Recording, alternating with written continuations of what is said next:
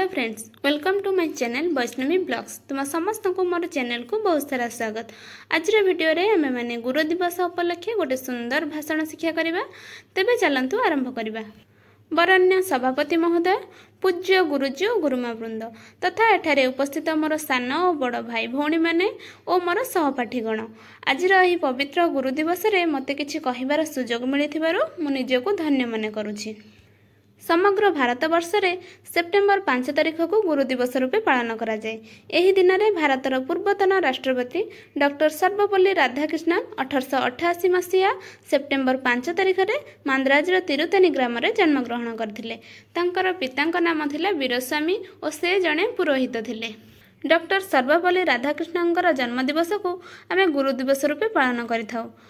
ଗୁରୁ ଗୁର ଅର୍ଥ ଅନ୍ଧକାର ରୁର ଅର୍ଥ ଜ୍ଞାନ ଅନ୍ଧକାରରୁ ଯିଏ ଆମକୁ ଜ୍ଞାନ ଦେଇଥାନ୍ତି ସେ ହେଉଛନ୍ତି ଗୁରୁ ପଦବାଚ୍ୟ ସେଥିପାଇଁ ଶାସ୍ତ୍ରରେ କୁହାଯାଇଛି ଗୁରୁ ବ୍ରହ୍ମା ଗୁରୁ ବିଷ୍ଣୁ ଗୁରୁଦେବ ମହେଶ୍ୱର ଗୁରୁ ସାକ୍ଷାତ ପରମ ବ୍ରହ୍ମ ତସ୍ମୈ ଶ୍ରୀ ଗୁରବେ ନମ। ଅର୍ଥାତ୍ ଗୁରୁ ଏକାଧାରାରେ ବ୍ରହ୍ମା ବିଷ୍ଣୁ ମହେଶ୍ୱର ଏବଂ ଗୁରୁ ଭଗବାନଙ୍କ ସହ ତୁଳନୀୟ। ଆମେ ଜୀବନରେ ଛୋଟରୁ ବଡ଼ ପର୍ଯ୍ୟନ୍ତ ବହୁ ଗୁରୁ ଓ ଗୁରୁଜନଙ୍କ ମାଧ୍ୟମ ଦେଇ ଅତିକ୍ରମ କରିଥାନ୍ତି। ମା ଓ ବାପା ଆମର ହେଉଛନ୍ତି ପ୍ରଥମ ଗୁରୁ। ତାପରେ ସ୍କୁଲ ଓ କଲେଜରେ ଶିକ୍ଷକ ହେଉଛନ୍ତି ଆମର ଦ୍ୱିତୀୟ ଗୁରୁ। ପରିବାରର ବୟୋଜ୍ୟେଷ୍ଠ ବା ଗୁରୁଜନମାନେ ମଧ୍ୟ ଆମମାନଙ୍କର ଗୁରୁ ଅଟନ୍ତି। ଗୁରୁ ଦିବସର ଏହି ପରମ୍ପରା ଆମକୁ ଗୁରୁଙ୍କୁ ସମ୍ମାନ ଦେବା ଏବଂ ଭକ୍ତି କରିବା ପାଇଁ ପ୍ରେରଣା ଦେଇଥାଏ।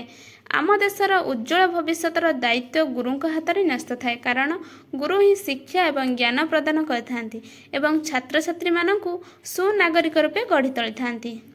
ସେଥିପାଇଁ ଆମମାନଙ୍କ ମନରେ ସଦାସର୍ବଦା ଗୁରୁଙ୍କ ପ୍ରତି ସମ୍ମାନ ଭକ୍ତି ରହିବା ଉଚିତ। ମୁଁ ଏତିକି କହି ମୋର ବକ୍ତବ୍ୟ ସାଙ୍ଗ କରୁଛି। ଜୟ ହିନ୍ଦ। ଆଶା କରୁଛି ଭିଡ଼ିଓଟି ନିଶ୍ଚୟ ଭଲ ଲାଗିଥିବ। ଭିଡ଼ିଓ ଭଲ ଲାଗିଲେ ଲାଇକ୍ ସେୟାର ଏବଂ ଚ୍ୟାନେଲକୁ ସବସ୍କ୍ରାଇବ୍ କରିବା ପାଇଁ ଜମା ବି ଭୁଲିବେନି। ତ ପୁଣି ଦେଖା ହେବ ନେକ୍ସଟ ଭିଡ଼ିଓରେ ଥ୍ୟାଙ୍କସ୍ ଫର୍ ୱାଚିଂ